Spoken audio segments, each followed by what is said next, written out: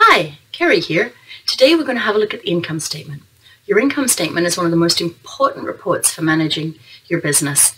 Also, if you understand your income statement and how items are classified, it'll help you to make adjustments and set up things in QuickBooks. So I'm going to use the sample company from the QuickBooks file and we'll walk through it all together. To access the profit and loss, you select Reports here in the left-hand margin. As you can see, the profit and loss comes up as one of the recommended reports. This is the report that's going to show you all the money that you've earned, the money you've spent, and you'll be able to see how profitable your business is. Select Run. The report's been produced with the results showing the year so far. For the purposes of this exercise, we're going to change the dates to show the results for last year. So we go up here to the report period and select the drop down. We roll down, we can choose last year. Run report. We now have a report that shows us the activity in our business for the whole of 2016. This is a report you would provide to your accountant at the end of the year if they don't have access to your online data. At the top of the report is the income. This is what you've earned in your business. It'll include everything you've invoiced or billed for, whether or not you've collected the money. The next section is the cost of goods sold. These are the costs that you've incurred solely to earn the income above. This sample company is an event planner. Let's have a look at what they've included in their cost of sales. By hovering over the number, you can click through and see exactly what makes up that number. What I see here are a variety of expenses, including venue rental, food and beverage, and promotional items. The types of items that you would expect to see in an event planning company. Let's go back to the report, which we do by scrolling up here, back to report summary. Just have a quick look and see what's included in this billable expenses income. These are the same items that we just saw in our cost of sales, but with a little bit higher value because it's what we've actually billed them through to the client.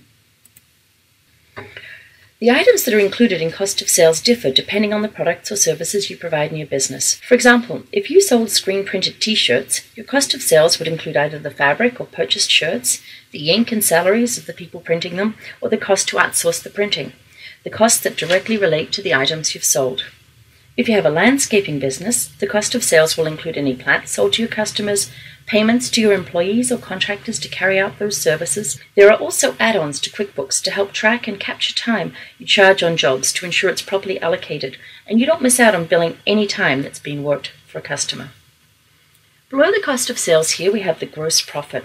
This is how much you've made directly from your products or services. In this example, you can see the profit's a little over 50%.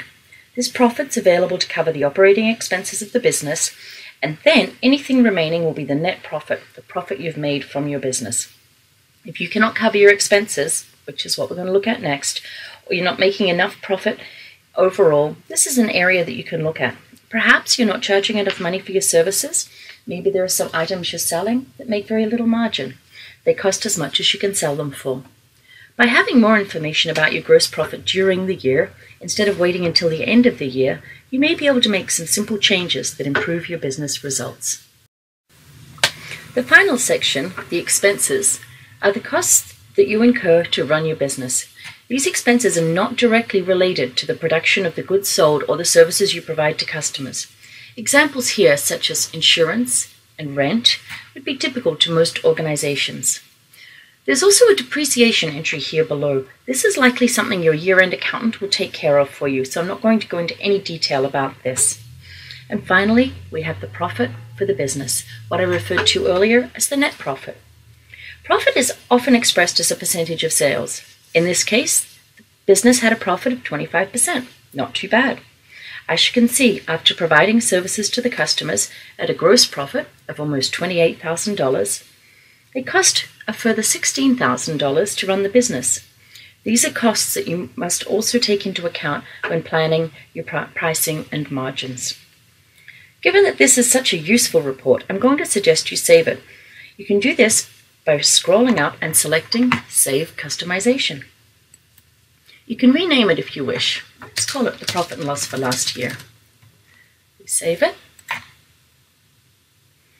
And then next time we go to reports, and we select my custom reports, you can see it shows up right here at the top. Hi, hopefully you're still with me and you have a much better understanding of how to classify your expenses as you're recording them. If you have any questions at all or would like to sign up for QuickBooks Online, check out the link for myquickbookkeeping.com. Also in the comments section below, please ask any questions and let me know if there are any areas you'd like me to go over and the next video could be for you. Anything more you'd like to know, just write it below. Okay, love to hear from you.